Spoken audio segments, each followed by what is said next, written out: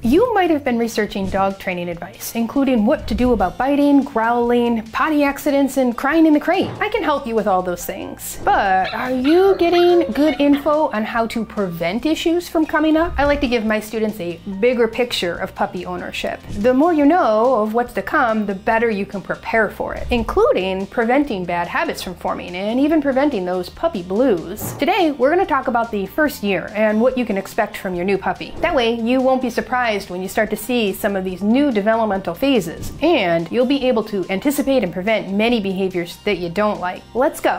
The first phase is what I call new puppy.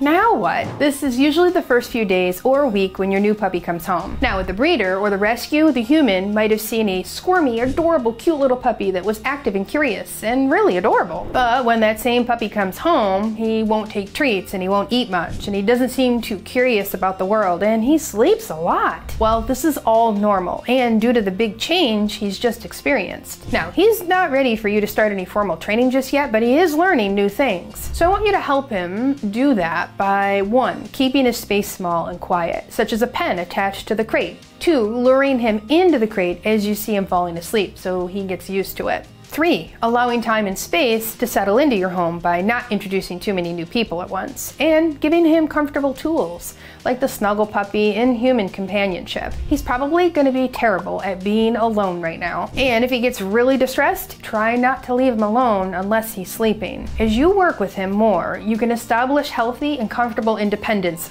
slowly. You're gonna be able to start on that in just a few days. Now, even though he's not ready for formal training games, he's definitely ready to learn where's that potty spot? And if he was using pee pads at the breeder or the rescue, it's really important that you start working to teach him to go potty outside. Now I can't go into the full potty training lesson here, but I've got a free resource for you and you can check it out when you're ready. It's called the New Puppy Starter Kit and it's gonna guide you through all the potty training and there's even some important information in there about early socialization. You can grab the link from the description below this video or you can just comment new puppy and we'll reply with the details. Did I mention it's free?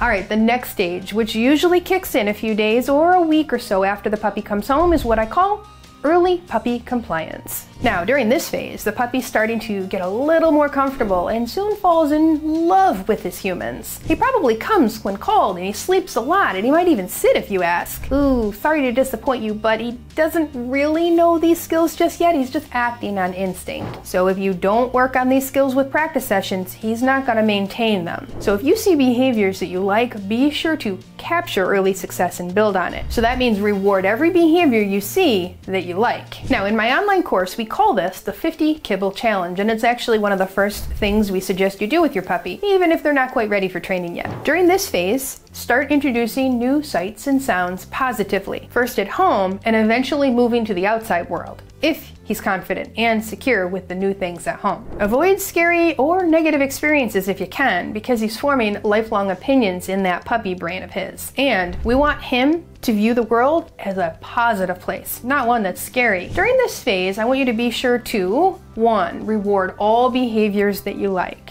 2. Start exposing him to new things in the home, including noises. And 3 work on crate training and potty training, even if it's already going well. That will help you get through the next phase when you might see some regression. I like to call that next phase the oh, what have I done phase. Around 12 weeks of age, we see more energy, less compliance, and more behaviors we don't necessarily like. Now, your puppy is just starting to get really comfortable in his home, and his natural personality is starting to shine through. He may not come when you call him anymore. He might have been okay in the crate for a while, but now he's starting to feel like there's a party going on without him. Don't worry, these things are fixable, and it's best to start right now. By establishing good habits now, you're gonna have a lot easier time with some of the phases still to come in that first year. So I want you to, one, keep a good schedule. Watch the length of the wake windows and make sure your puppy's getting enough rest. Number two, start training games if you haven't already. Training helps you learn how he learns and helps him learn to focus on you. And number three, start positive exposure outside of the house if inside exposure is going well. Now again, it's common for humans to get the puppy blues during this time frame. We do have a video that can help you with that if you need it. Next, we arrive at the pre-adolescent, also known as the land shark phase. Usually around 16 weeks of age, puppy gums are sore due to teething, and your puppy is probably experiencing some discomfort, which results in some crazier behavior and more biting. Your puppy has an urge to chew, which is also resulting in more crazy behavior, and you guessed it, again, more biting. Your puppy is also likely gonna stay awake if something exciting is happening. No worries. Now, if you've been establishing a good schedule and consistent crate training, you can still help him get the rest he needs. I do have to warn you though that this phase is likely to be frustrating, so don't give up. With time, training, and tools, you can get through this and come out with a well-mannered puppy. It just takes a little patience and understanding how dogs think and learn. Also, during this phase, I want you to, one, keep up with the puppy schedule because your number one priority is getting the puppy enough sleep in the crate. Two, add in decompression walks and mental enrichment games like problem solving, training, and allowing for instinctual behaviors like shredding,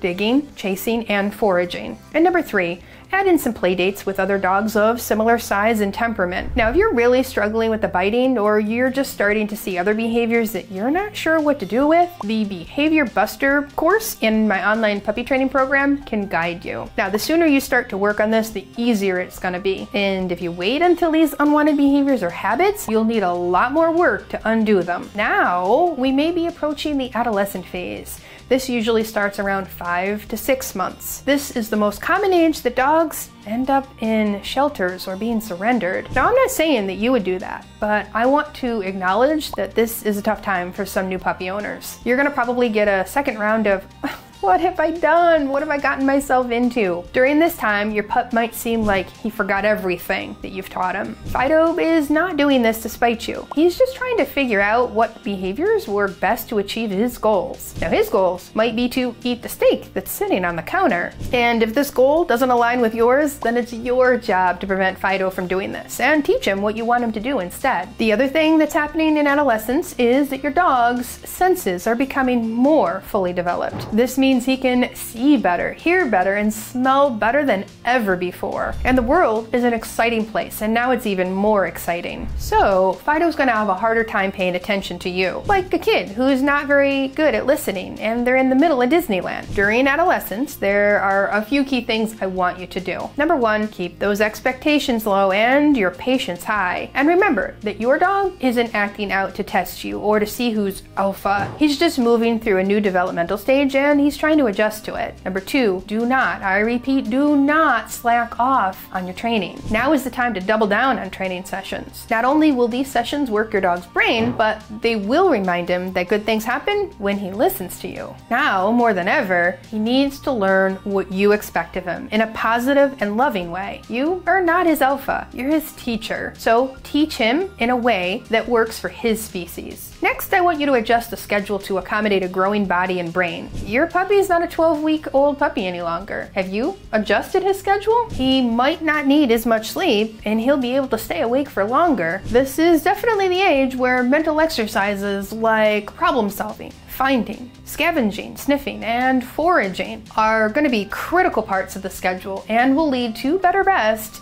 more than physical exercises. And if you feel like your dog has a never ending source of energy, check out this video for some ways to contain it. And if you need 101 ideas for things to do with your dog, well, they are in our awesome 100 page workbook that goes along with our online puppy training program. Okay, now we're getting closer to the one year mark and we are approaching adulthood. Dogs are fully grown at slightly different times depending on the breed. Smaller dogs are fully grown earlier and larger dogs often take a couple of years for their brain and body to fully develop. Now, even though all adult teeth are probably in, the teeth are still moving around, so it's normal to see teething still. But now, you should know what to do about it since you survived the teething phase a little earlier. And at this age, you can start to offer more freedom as your pup appears ready. You'll want to do that slowly though and with dedicated training sessions to introduce new rooms. Now, even though your potty training should be pretty well established by now, accidents are still common all throughout the first year, especially if the human starts to pay a little less attention to the signals or the schedule. You'll want to get ready for any kind of spay or neuter surgery as well. So start introductions to the cone to prepare and to keep the dog quiet and calm after the surgery. We do have videos on both of those topics. By now, you should be getting the idea that we have videos on just about every puppy topic you can think of. And as your puppy approaches adulthood, I want to make sure that you are number one, adding novelty to your dog's day with new decompression spots, playmates, and trying out some new toys or treats or even some games. Number two, continuing training games, especially harder skills like leash skills, recall, drop it, and leave it. And Number three, starting to offer more freedom with controlled practice sessions, exploring new areas. Your pup should still be in the crate when you are away from home though. And if potty training and crate training and teething is going well, you might allow your dog to sleep in bed with you if that's your thing. Now, by tuning in carefully to these phases, not only are you meeting your dog's developmental needs along the way, but you're getting to know him well, including his likes, his dislikes, and even his hobbies. Training your dog doesn't mean teaching him to obey you. It it means understanding him as a different species and meeting his needs so he lives a happy and fulfilling life. He can't do this without you. All right, I hope you're feeling a little bit more ready about the first year with your new puppy. It's a lot of information, but we're here if you have any more questions. Comment below with any questions and we'll help you out. Today's topic was a lot of theory and sciencey stuff, so I'm gonna leave you with one of my favorite videos on having fun with your puppy, and you can watch that next. These five games are great ones to introduce at any age. You'll get to know how your puppy learns, and your puppy's gonna love the problem solving. I predict a good nap will happen after you do one or two of these games with him. Let us know how it goes. This is Michele and the How to Train a Dream Dog team, signing off for now.